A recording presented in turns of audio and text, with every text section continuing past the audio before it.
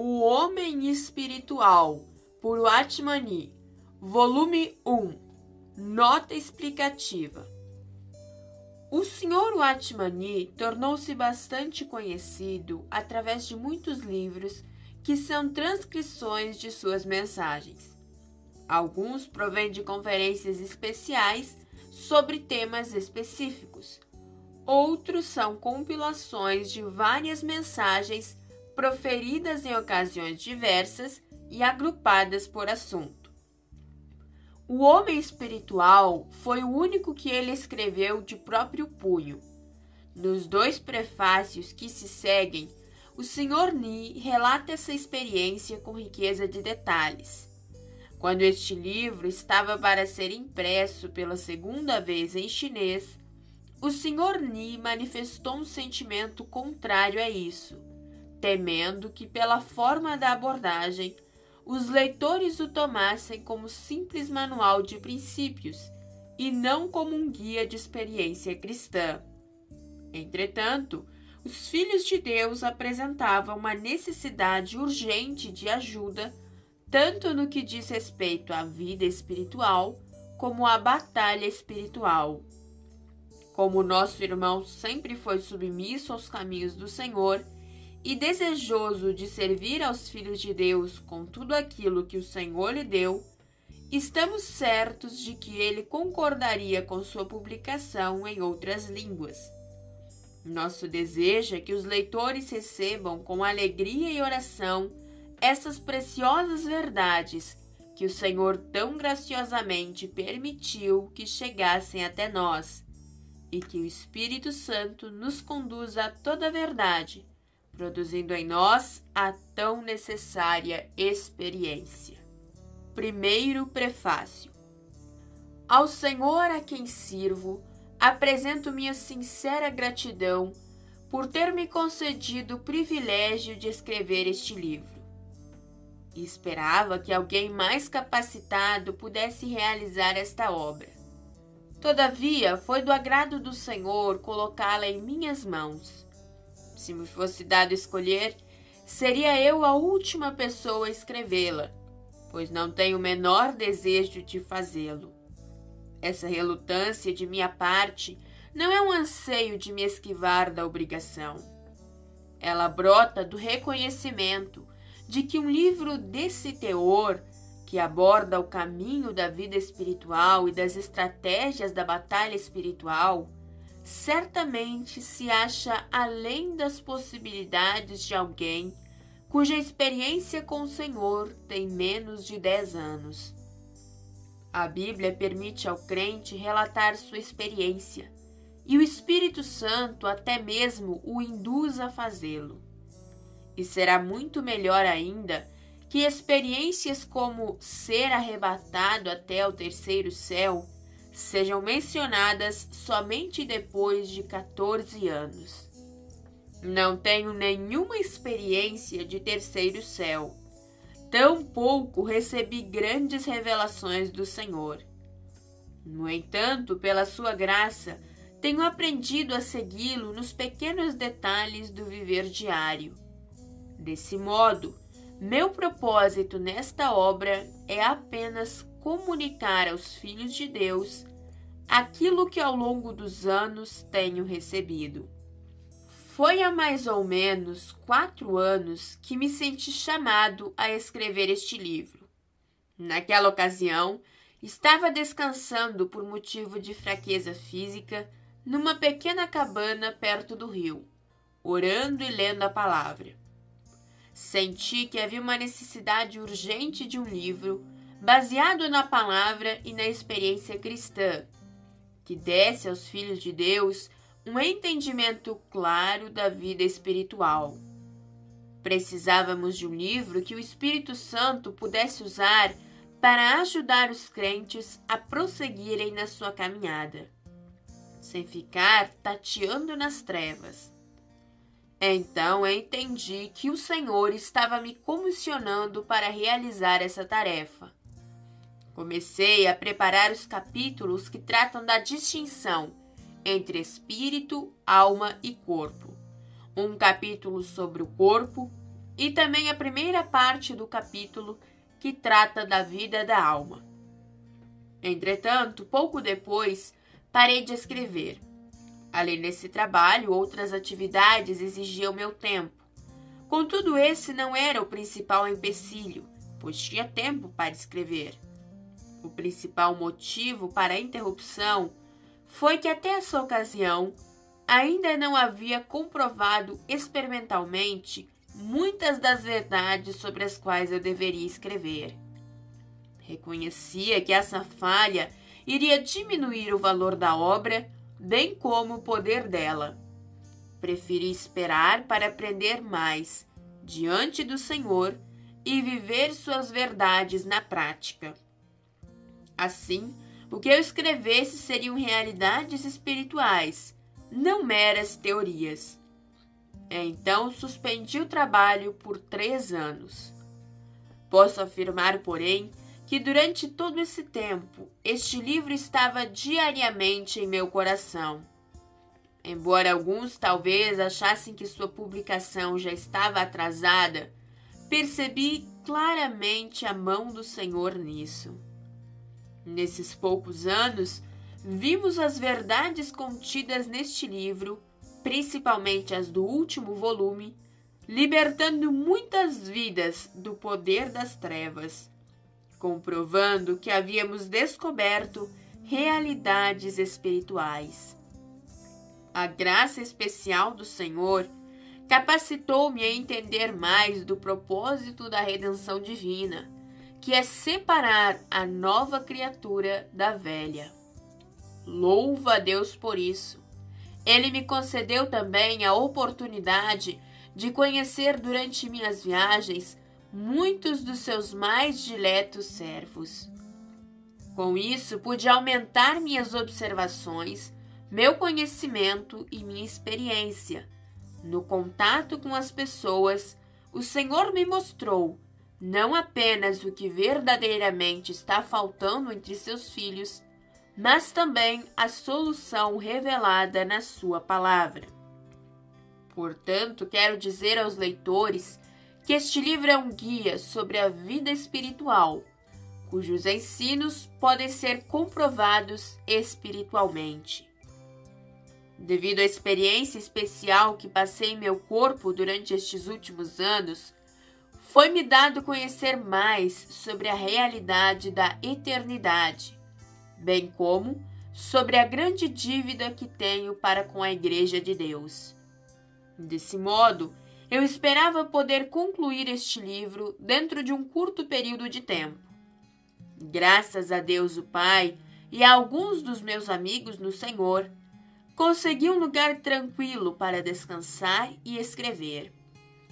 Com poucos meses, pude terminar da primeira à quarta parte. Embora ainda não tenha iniciado as outras, tenho certeza de que em tempo oportuno, Deus o Pai me concederá a graça necessária. Este volume está para ser publicado em breve. Os outros logo o seguirão. Permita-me então falar francamente. Não foi fácil aprender as verdades contidas neste livro e escrevê-las foi mais difícil ainda. Posso dizer que durante dois meses vivi diariamente nas mandíbulas de Satanás. Que batalha! Que oposição! Tive de lançar mão de todos os poderes do espírito, da alma e do corpo para lutar contra o inferno. No momento, tais batalhas se acham temporariamente suspensas, mas ainda tenho de escrever as outras partes. Aqueles que são como Moisés no monte, por favor, não se esqueçam do Josué que está lutando na planície. Sei que o inimigo odeia esta obra profundamente. Ele vai usar todos os meios para impedir que ela chegue às mãos dos leitores, para que não a leiam. Não permitamos que nosso adversário tenha sucesso nisso. Este livro, a ser publicado em três volumes, não é escrito em forma de sermão nem de forma expositiva. Como os leitores hão de observar, tratei alguns assuntos de maneira mais extensa que outros. Todos os volumes tratam de vida espiritual e da batalha espiritual. Contudo, em algumas partes, enfatizamos mais a vida espiritual e em outras a batalha espiritual. O livro, como um todo, tem por objetivo oferecer orientação espiritual.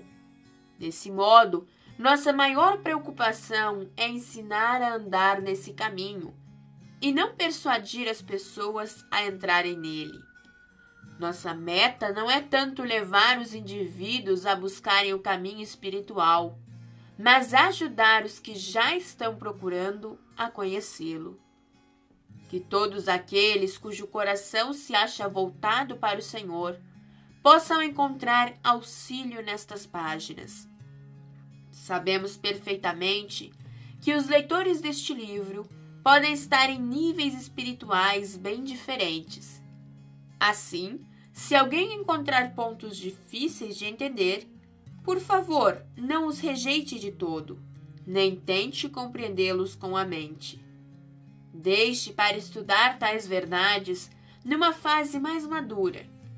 Relendo esta parte difícil mais tarde, digamos umas duas semanas ou um mês depois. Talvez possa compreendê-la melhor. Não obstante, em todo este livro, focalizamos a vida espiritual como uma experiência. Não se pode entendê-la de nenhuma outra forma. O que no início parece não ter sabor, mais adiante pode tornar-se mais precioso. Quando o leitor alcançar esse estágio, então compreenderá. Mas será que teremos de esperar alcançá-lo para só depois entender? Sendo assim, qual é a utilidade deste livro? Um grande mistério cerca a experiência espiritual do crente. O Senhor nos concede sempre o antegozo de uma vida mais profunda, já no momento em que a vislumbramos, antes de a gozarmos completamente. Muitos confundem o antegozo com a plenitude, não percebendo que Deus está apenas começando a guiá-los à posse dessa vida. Que ensinamos neste livro satisfaz as necessidades daqueles que já a provaram, mas ainda não beberam dela plenamente. Uma prática devemos evitar: usar o conhecimento adquirido neste livro como auxílio para efetuarmos uma autoanálise.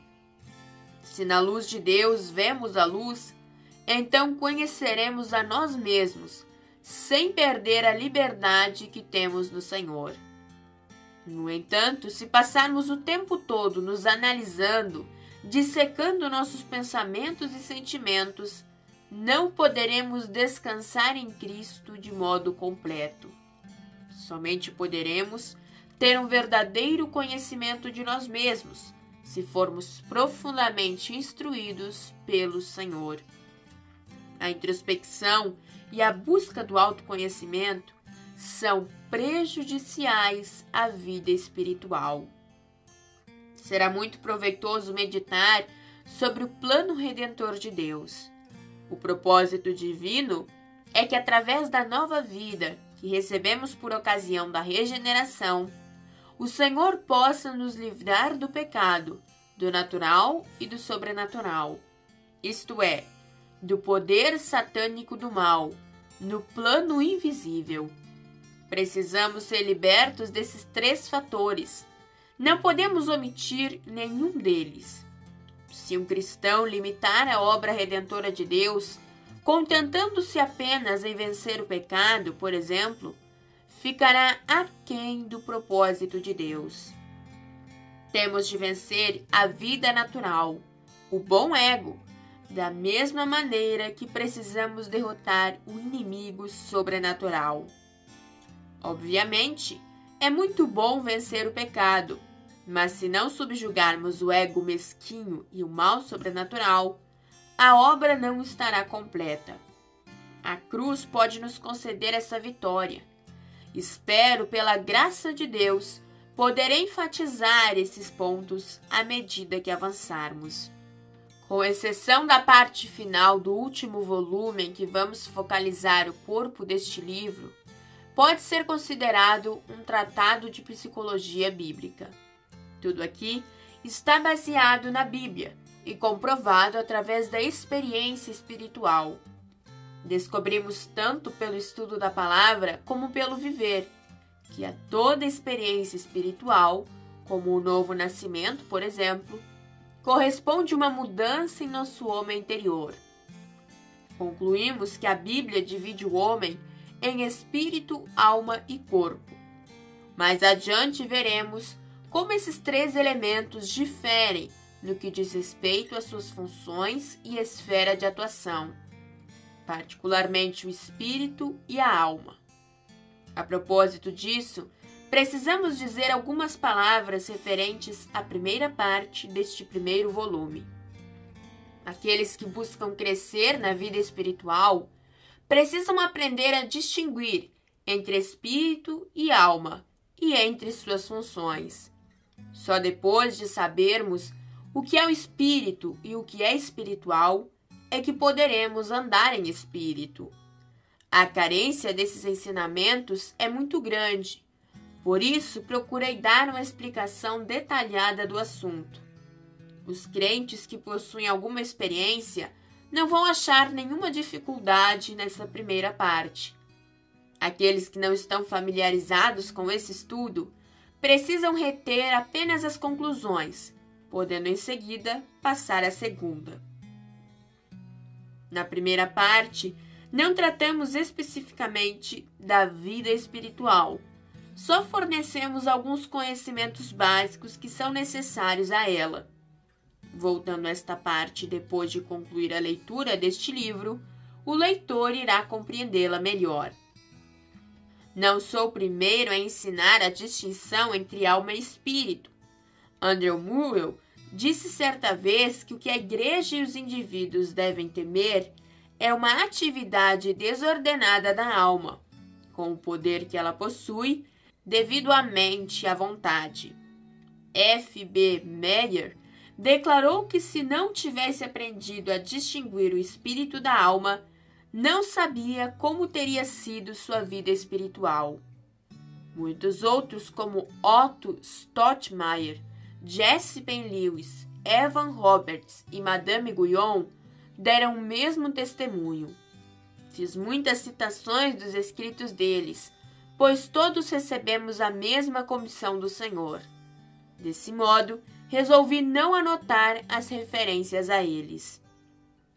Escrevemos este livro não somente para crentes como esses, mas também para aqueles que são mais novos do que eu no serviço do Senhor. Nós que somos responsáveis pela vida espiritual de outros, devemos saber de onde os estamos tirando e para onde os estamos conduzindo. Será que o Senhor quer apenas que ajudemos as pessoas a se livrarem do pecado e a se tornarem mais fiéis? Ou será que existe algo mais profundo? Eu, pessoalmente, acho que a Bíblia já deu a resposta definitiva. O propósito de Deus é que seus filhos sejam totalmente libertos da velha criatura e assumam plenamente a nova. Não importa o que a velha criatura possa parecer ao homem, ela se acha inapelavelmente condenada por Deus. Se nós, obreiros, soubermos o que precisa ser destruído e o que deve ser edificado, não estaremos como cegos guiando cegos. O ponto de partida de toda a vida espiritual é o novo nascimento, o recebimento da própria vida de Deus. Se a finalidade de nosso estudo, de toda a nossa exortação, de toda a nossa persuasão, de nossa argumentação, nossa explanação, for apenas um sentimento, um entendimento intelectual e uma determinação da vontade, tudo será inútil. Isso não ajuda ninguém a receber a vida de Deus em seu espírito. Nós que somos responsáveis pela pregação do Evangelho, precisamos fazer com que as pessoas recebam a vida de Deus no fundo do seu ser. Se não receberem, não teremos realizado nada de proveitoso. Se verdadeiramente entendermos bem esse fato, ocorrerá uma mudança drástica em nosso trabalho. Na verdade, com tal conhecimento, iremos reconhecer que muitos que professam crer no Senhor Jesus realmente nunca o fizeram. As lágrimas, as orações, as mudanças, o zelo e o trabalho não são características genuínas de um cristão. Felizes de nós se compreendermos que nossa responsabilidade é levar o homem a receber a vida não criada de Deus. Quando me lembro de como o inimigo tentou impedir-me de aprender as verdades que apresento no último volume, sinto-me receoso de que ele venha impedir alguns de ler este livro. Temo ainda que, se chegarem a lê-lo, talvez venham a se esquecer dele em pouco tempo. Por isso, quero fazer uma advertência ao leitor. Amigo, peça a Deus que não permita que Satanás o impeça de lê-lo. Leia-o em espírito de oração. Transforme em oração tudo o que ler. Ore para que Deus o cubra com o capacete da salvação, para que não se esqueça do que leu, ou não se limite a encher a mente de um grande número de teorias. Precisamos dizer algumas palavras também àqueles que já estão de posse das verdades apresentadas nas páginas que se seguem. Se Deus, pela sua graça, o tem livrado da carne e do poder das trevas, você, por sua vez, deve levar essas verdades a outros. Portanto, depois de digerir o livro completamente, apropriando-se de seus ensinamentos, deverá reunir alguns crentes e ensinar-lhes essas verdades.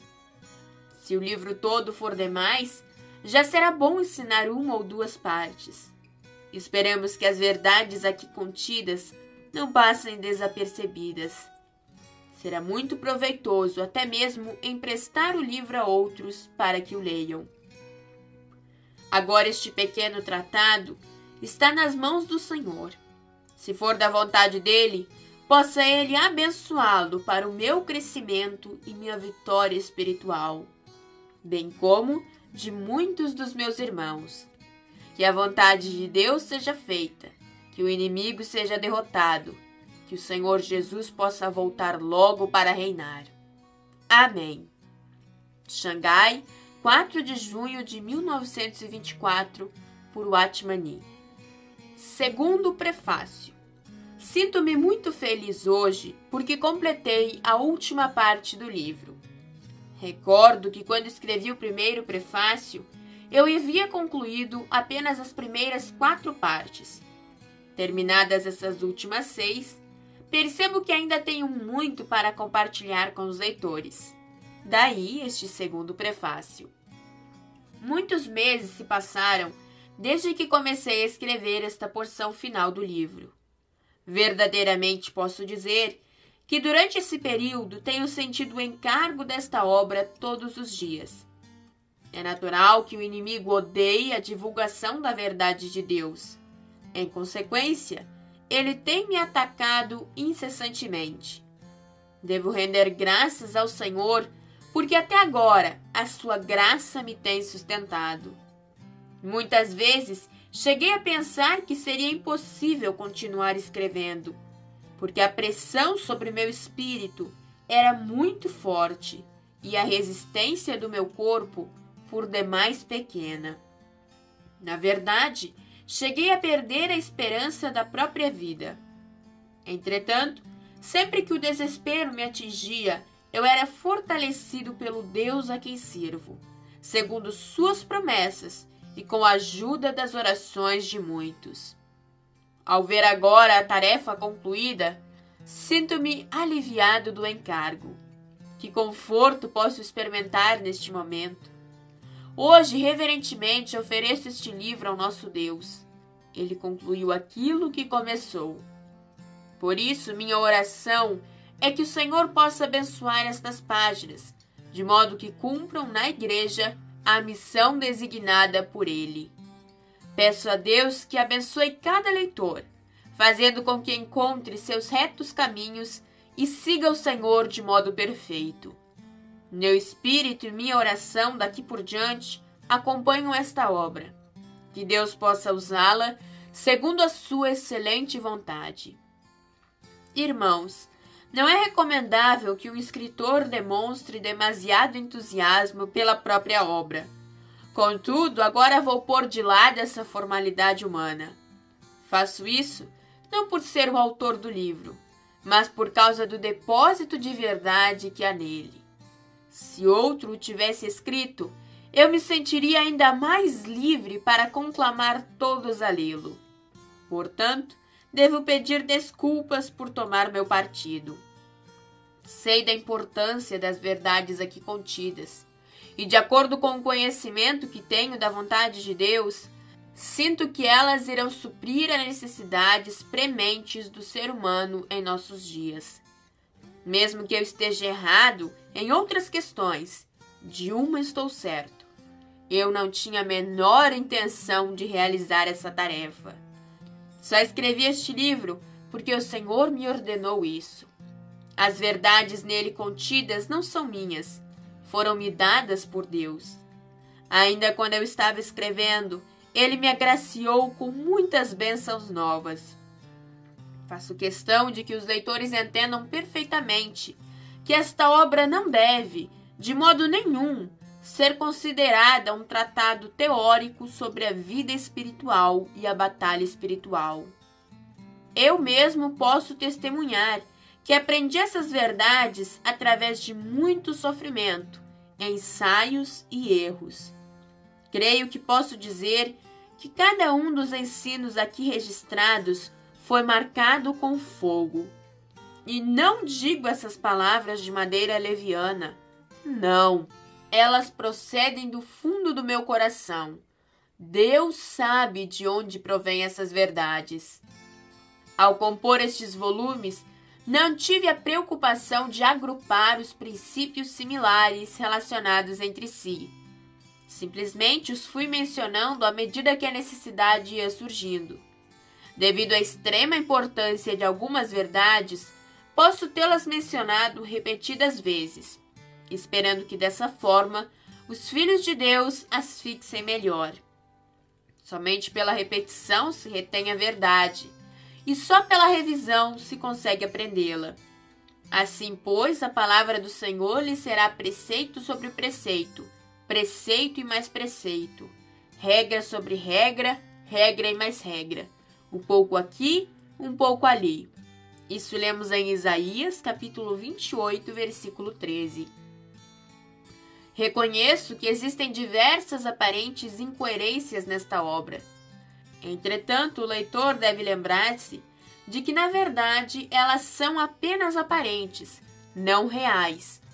Pelo fato de este livro tratar de assuntos do reino espiritual, certamente haverá muitas contradições teóricas aparentes.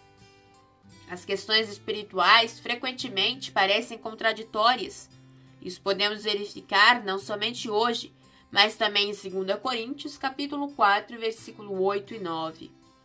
Entretanto, todas elas encontram perfeita harmonia na experiência cristã. Por isso, embora haja pontos que parecem difíceis de entender, peço que o leitor se esforce ao máximo para compreendê-los.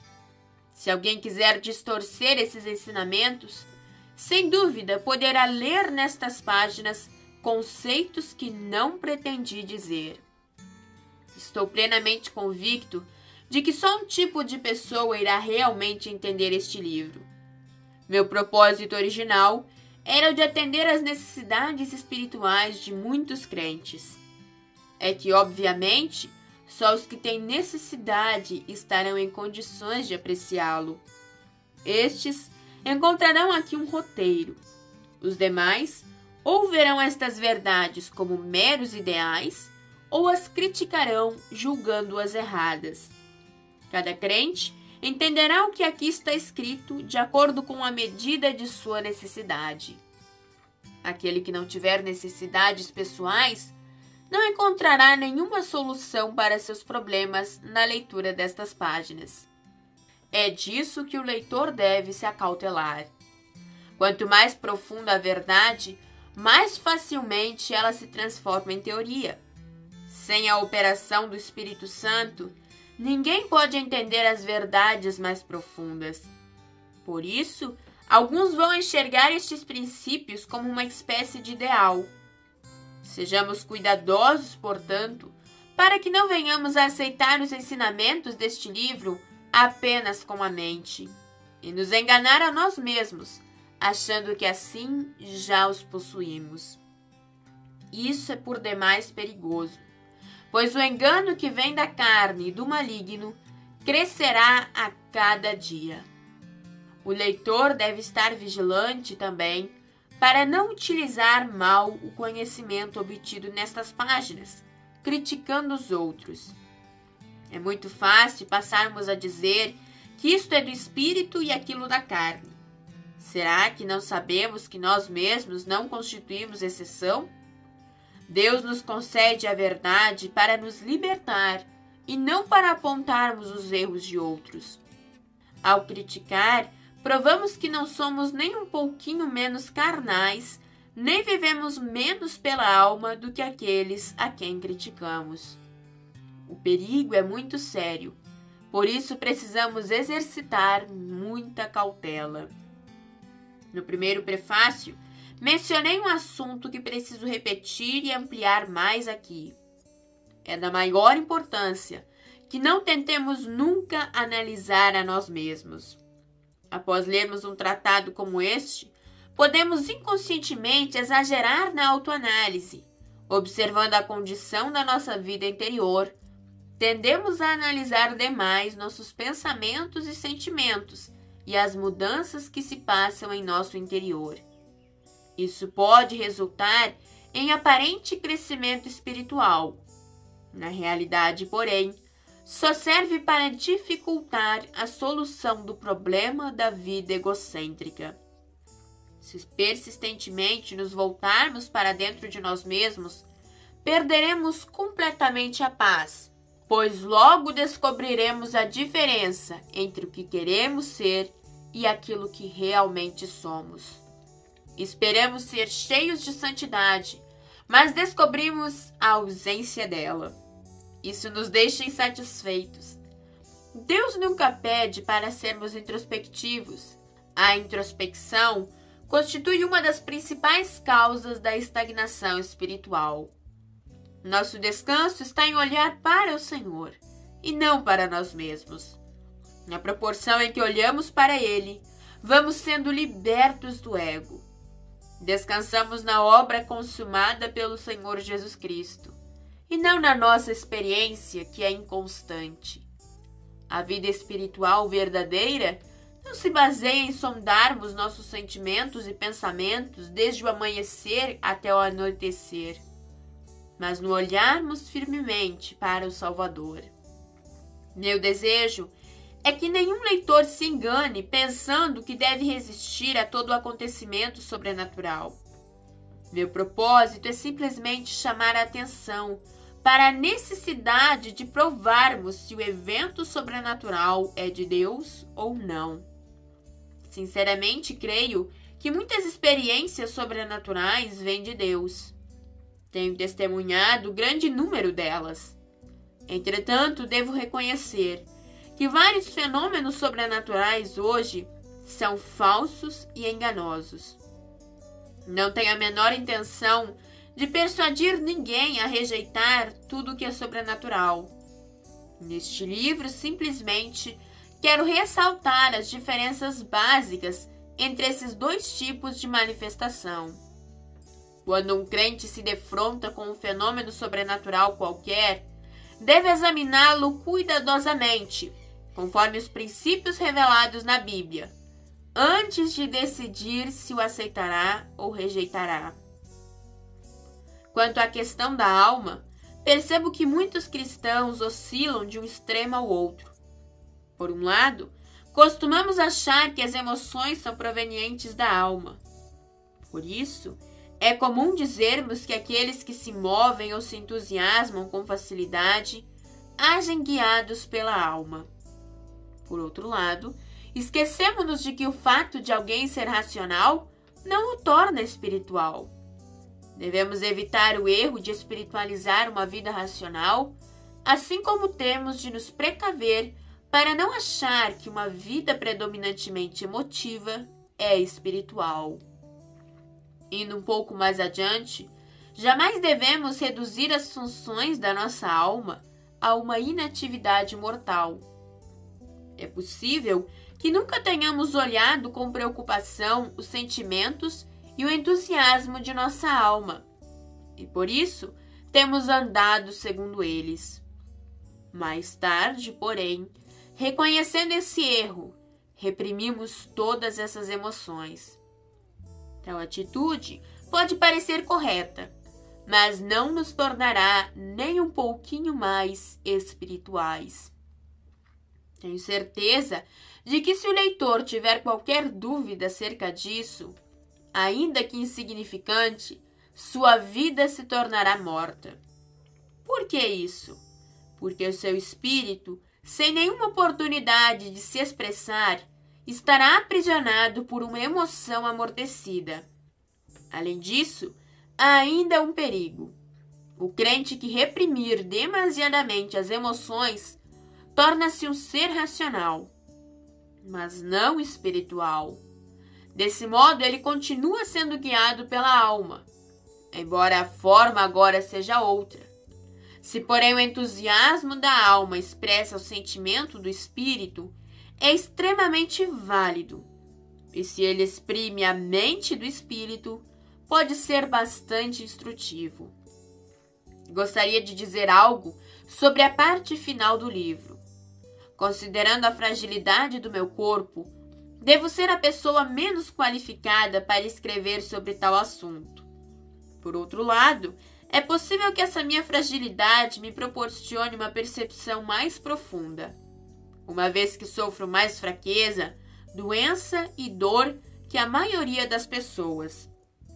Por diversas vezes, minha coragem pareceu falhar, mas graças a Deus pude concluir essa parte.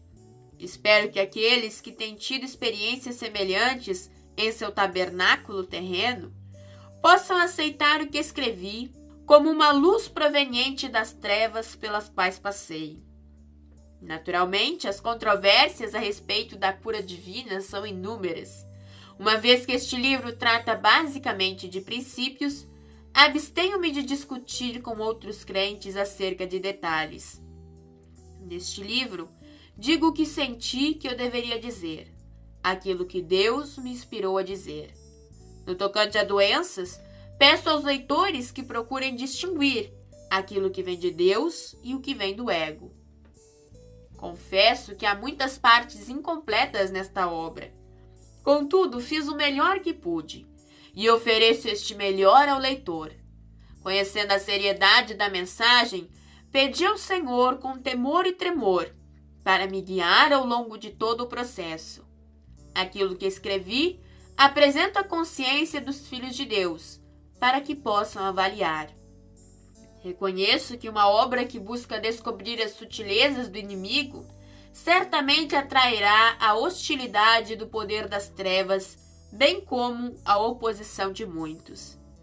Não escrevi com o propósito de obter a aprovação dos homens, portanto, considero a suposição como de nenhuma importância. Reconheço também que, se os filhos de Deus tirarem proveito da leitura deste livro, poderão pensar a meu respeito mais do que devem. Permita-me falar com toda sinceridade. Sou apenas um homem, o mais fraco dentre eles. Os ensinos contidos nestas páginas revelam as experiências das minhas fraquezas. Agora o livro está nas mãos dos leitores.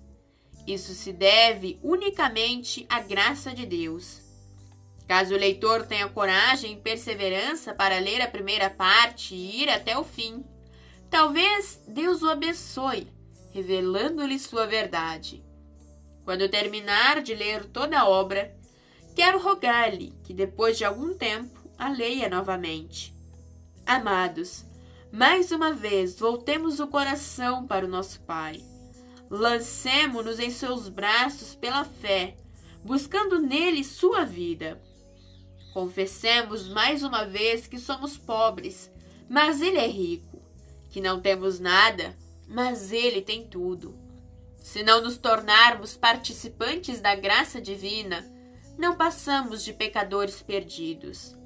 Possamos nós louvá-lo com o coração agradecido, pois o Senhor Jesus nos conferiu graça. Pai Santo, aquilo que me confiastes está agora neste livro. Se te parecer bem, abençoa-o. Que tu possas, nestes últimos dias, guardar teus filhos da carne corrupta e dos espíritos malignos. Pai, que possas edificar o corpo do teu filho, destruir o inimigo do teu filho e apressar a vinda do reino do teu filho. Deus Pai, estou olhando para ti sobre ti lanço meu ser e anelo por ti. Xangai, 25 de junho de 1928, por Watmani. Amém.